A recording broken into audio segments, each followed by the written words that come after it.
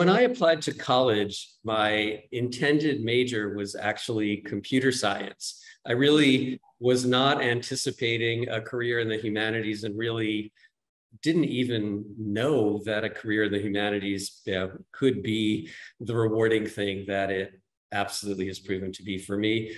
Uh, I shortly after applying to college, uh, actually made the decision to transfer into the business school of the university that I was attending, which is the University of Pennsylvania, which has a, a well-known business school.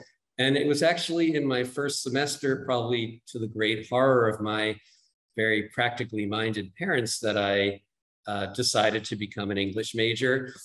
Uh, and I think it was really in college for the first time that I was exposed to the opportunities of the humanities as a as the deep uh, and really meaningful set of disciplines um, that it is.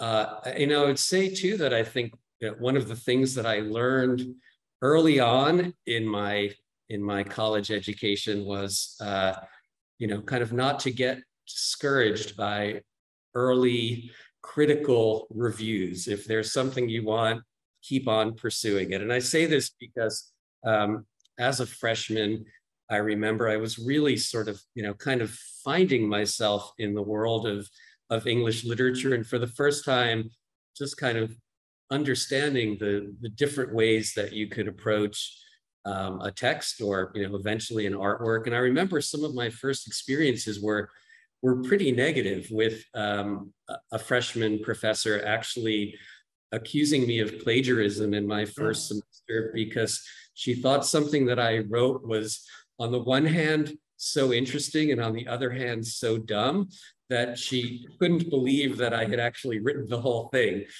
So, you know, that, that was an experience to really, you know, kind of kind of keep on pressing forward. And I guess it was really during college that I was exposed to the discipline of, of art and arch architectural history for the first time. Again, I had thought as a kid that I might be an architect and, and realized that, you know, actually studying the art and architectural works of others was probably where my passion lay. Um, and, you know, I, I, think it was in college that uh, towards the end of my college years, as I was also doing more traveling and having some great opportunities to live in other places, that I decided to pursue um, uh, a graduate degree in, in art history. So I pursued my master's and um, doctoral degree at Yale and you know, actually studied uh, kind of the, the not particularly well recognized discipline of, of British art of the 19th century. And uh, it was not a coincidence and it was not a passion that was driven purely by an aesthetic interest in, in British art of the 19th century, but I really did see um, Britain in the 19th century is this fascinating um, place in which the collision between the arts and society was just magnified in, in ways that I had not known about and, and that seemed very interesting to me. So definitely the, the, the kind of the social nexus of, of art has always been what has um, been most meaningful for me. One other thing I'll add that I really did learn in graduate school, I think that is a, a skill and an interest that remains with me today and, and really shapes just how I approach my life and my work.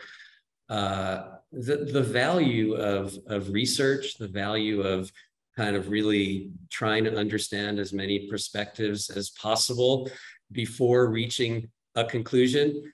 And then the critical importance of ensuring that you could communicate that that research and those conclusions in an effective manner. You know, I guess if you if you've got the ability to to research, explore options, understand and analyze situations and, and communicate them, um, you're on a reasonably good footing in life. And, and I would really say that was a, an exceptionally important part of graduate education for me.